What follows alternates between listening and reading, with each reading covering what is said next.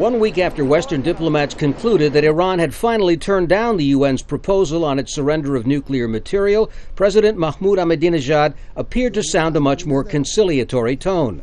Appealing to his harder line political rivals, the president said Iran should be willing to send its low enriched uranium abroad in a swap for more highly enriched fuel for medical use.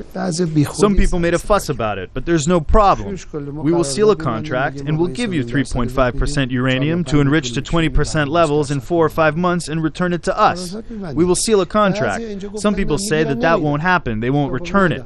But I said we're producing it anyway, and even if they don't return it, what will happen? His comments reiterating Ahmadinejad's previously expressed stand comes after the New Year's deadline that the UN negotiating group had set before moving on to tougher sanctions against the Islamic Republic.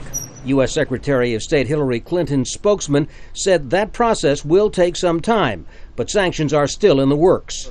I, I, think she's frustrated with the the Iranian response and and it, it's uh, their unwillingness or inability, uh, you know, to engage us seriously on the nuclear issue and on other regional issues. He added that any new Iranian nuclear offer should be delivered to the proper address the International Atomic Energy Agency. A day after Ahmadinejad predicted the early end of U.S. capitalism, the U.S. vice president had his own forecast for Iran. They're sowing the seeds of their own destruction in terms of being able to hold on to power. We are moving with the world, including Russia and others, to put sanctions on them. I think that uh, we've moved in the right direction in a measured way that's going to end up. Uh, we're going to end up much better off than we, we would have if we tried to go in there and just uh, physically change the regime.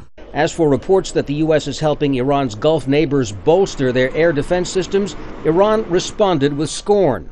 Countries in the region should know that this puppet show by the U.S., while claiming to create security in the region, is nothing except a new political ploy. At the same time, Ahmadinejad signaled that Iran is willing to release three American hikers awaiting trial since July in exchange for Iranians jailed in the U.S.